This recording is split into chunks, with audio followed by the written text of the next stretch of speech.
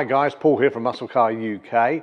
Just we're not outside today because the weather is not too bad, but it's a little bit better inside one of our showrooms. So I have got a magnificent car for you today, which I really think is a work of art. It's a 1956 Ford Thunderbird. And as you can see, it is absolutely stunning. The quality of this restoration is bar none. It's absolutely superb. It's body off, chassis off, the underneath has been done. It's been done beautifully. Really is sort of a hundred thousand pound restoration in my opinion, because I know how much these, these things can cost nowadays. But it's absolutely beautiful. And you can see a 56 was, it was brought out by Ford to try and compete against the um, Corvette, which had come out a couple of years earlier. It did extremely well and they outsold Corvettes massively. And as a result, all the people wanted one all the stars in Hollywood going back to 1955 when this first came out. This is a 56. But you had Marilyn Monroe when I bought 56. Frank Sinatra had one. Elvis drove one. Clark Gable had one. You name it, anyone who was anyone in the Hollywood area had this. You can see why, because it's such a beautiful car. When you, when you look around it, I mean, this is, this is a, in what's called Fiesta, Fiesta Red and it's absolutely superb. As you can see, the, the work that's been done to this car is exceptional. It's been back to metal respray. We've got photographic evidence as well, so that helps when you're making a decision to buy a car to literally see what it's all about. What I'm going to try and do today is to show you through this car so you can see the quality of this restoration because that is really important when you're buying a classic car. But when you look at the front of this, I mean, you've got the, the Thunderbird sign there, which is it's just a beautiful name to call a car, I think, in, to start with. And obviously, Thunderbirds ran for many years.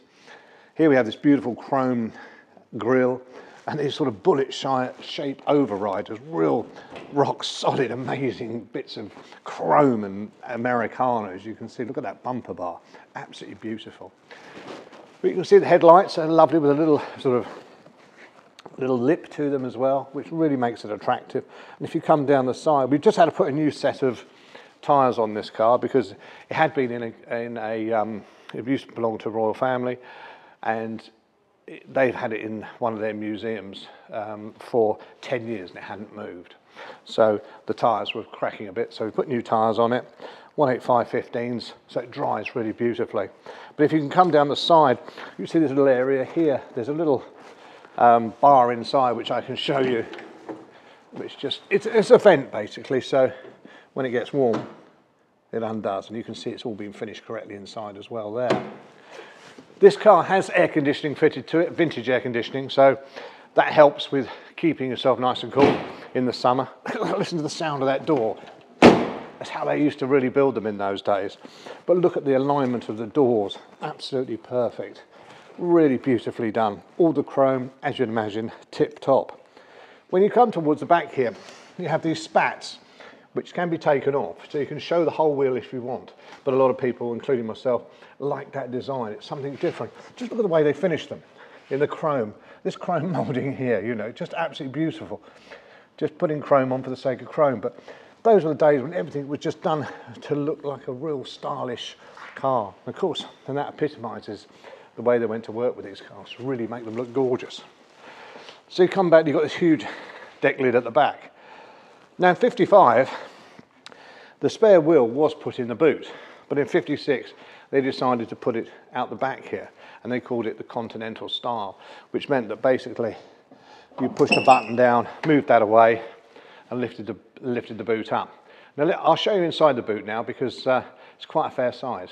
They wanted to make these boots bigger so that when the families used to go out in them, etc., you could get pretty much anything in it. If you can try and get into this Grant, the light's not perfect, I know, but you can see the size of the boot. You can put a set of golf clubs in there um, or a couple of uh, couple of cases if you go away. But uh, again, I want to show you the quality of this restoration.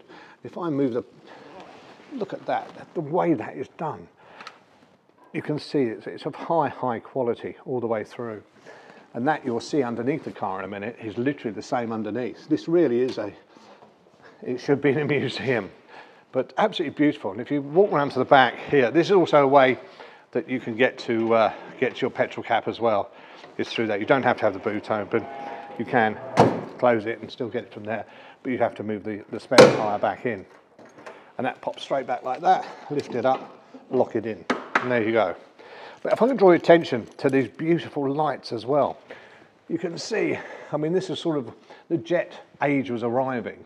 And again, it still harks back from those sort of 1940s and 50s cars, but just starting to look, these beautiful shapes all the way around. And again, you've had this sort of little deck lid here, and again, look at the chrome. Chrome's beautiful, especially with this Continental pack here. You can just see it's all beautiful all the way around. And as you come back through it. So this car is superb all the way through. And the bit that I really love more than anything else is there's the exhaust exit in the bumpers. You'll never see that again, ever. They'll never build them like that ever again. I suppose electric vehicles never will. But what a fantastic little bit of work there to actually have the exhaust so it comes out through here. Again, that sort of jet engine look about it. But absolutely beautiful. Um, let's have a look inside the interior because there's a few lovely things going on in there as well. Here we go inside. I mean, it's all been done, as you can see again, with this beautiful two-tone colour um, bench seat in the front. Here you've got the air conditioning. This again is, is to be made, vintage air, is made to look like the old style air conditioning as you can see there, which works perfectly. Automatic, so a lovely car to cruise. It's got the Easy Glide power steering on it as well, with the updated original uh, steering wheel. Absolutely beautiful. If you notice on the dashboard, all this turned metal that they did in their day, absolutely gorgeous all the way through there. And you've got things like the lighter, all done in sort of a like a jet engine sort of bullet shape, whichever you might think. And that, and that goes across all these, the wipers, headlights, etc.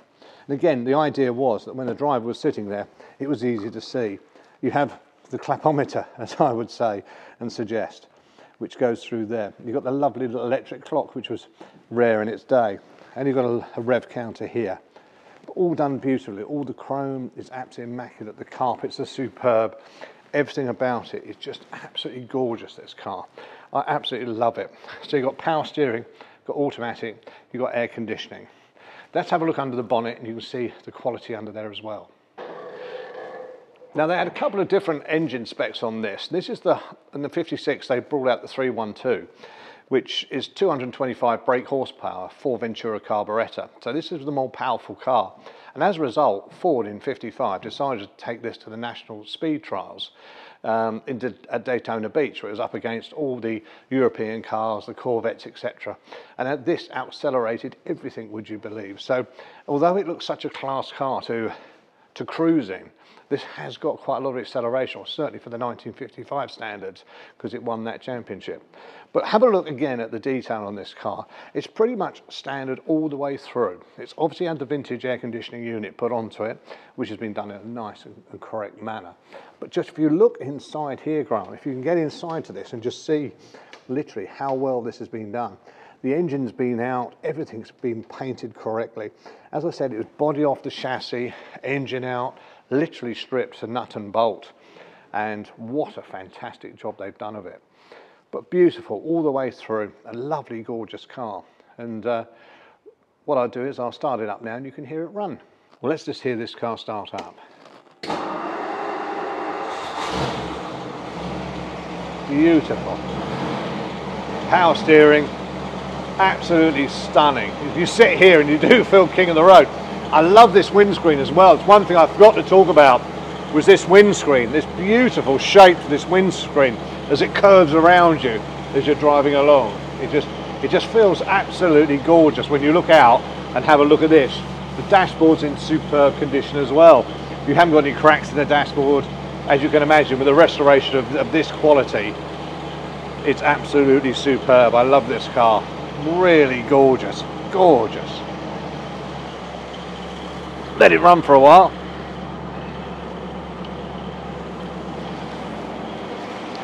I don't know if you can get in Grant, but some of that, if I come around that side, I want to show you the uh, the door shuts as well. I mean, the way this has been done. You know, you can see all in the door shuts here. Beautifully done, beautifully done. Got the lifeguard design, which was an upgrade. It had two locks on the doors. The dashboard was built in a different way. The steering wheel, as I said earlier, was done in a concave way, evidently to cushion any impact. I'm not so sure about in this day and age, but that was what was called the lifeguard design. it was supposed to be safer, safer for the, the people in 1955 to take their family out in. But again, look at that, that curve there. Beautiful, beautiful shape to it. You're never going to get cars like this anymore. Just gorgeous. The chrome is stunning. The interior is stunning. you can gather, I just think this car is absolutely beautiful.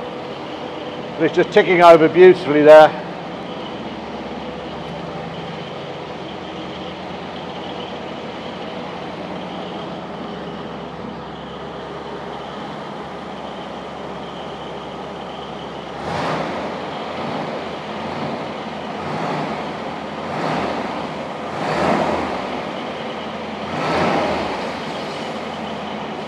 It's a little bit cold today, so we're getting a little bit of mist, but uh, there we go. Absolute beautiful car. Fantastic, fantastic. And there you go. What we're going to try and do now is we're going to try and put this car on the ramps in our workshops and so you can have a look underneath because that just blows me away every time I look underneath this car. It's, it's a car, I know this sounds mad and I might be mad, but sort of car I could live with. I could park this in my front room and just look at it all day long. I know a lot of you guys do that with motorbikes because they're obviously smaller, but if I could have a collection and have this sitting there and I could just adore looking at this car day in, day out, because is that beautiful? And I possibly think this is possibly the finest one in the UK. I would say that it must be, because I've never seen one done as well as this. And again, what an appreciating classic what it would cost to do this. Anyone that's in the classic car world, whether you've got a, whether you've got 20, 30 or one car, you know what these cost to do to get them into this, con into this condition. I would suggest this is in better than new condition. It really is superb. But let's get on the ramp and I can show you the other bits.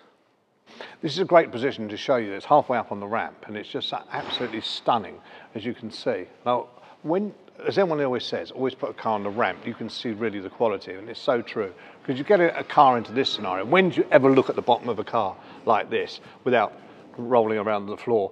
But you can just see, look at the way that is done, beautifully. You know, the, the way that the, all the gaps are absolutely superb all the way around. And you get a look at this car all the way down, including, you know, these, these huge hubcaps, which were on it, obviously, when it was new. Picked out in red here, with the big white band tyres, but just have a good look all the way through here. It's absolutely beautiful. The paint is smooth all the way along and the whole side of the car is really glass-like. It really is superb. I just love it at this angle. I just think it looks, it really does show the quality of what they built here. And the style, it's the style that I love. You've got the Thunderbird sign on the top here, you know, just in case anybody wasn't sure. I mean, look at all this chrome, this Continental kit. It's absolutely huge. But all the chrome's beautiful. I mean, you're never ever going to have cars built like this again, unfortunately. It's just absolutely gorgeous. Whichever angle you look at this car, it's stunning. You can see from here underneath, it really is superb, as I suggested. Nut and bolt everywhere. You can look, I mean, you can see the chassis, for example, here. It's all absolutely done in gloss, so you can see all the way through that the car is absolutely beautiful. Stainless steel exhausts. You can see through here all the crossover section on the chassis. Literally, if you can get in, granted, you can see the floors. I mean, you just don't see classic cars done to this extent. Look at the floors on this thing. It's just as good as the top. It really is absolutely stunning. Everything's been done. You could do with a little bit more of a polish, to be absolutely honest but we haven't had time as yet. We've just put a new petrol tank in because, as I say, it's been standing for 10 years, so that had to be done. But other than that, it's absolutely beautiful. All the sills, under here, if you can see, you know, the same amount of paint and attention has been done to the sills underneath and the and the uh, floors as as has the top has been done. But absolutely beautiful. I don't know what quite what to point out because it's all just gorgeous.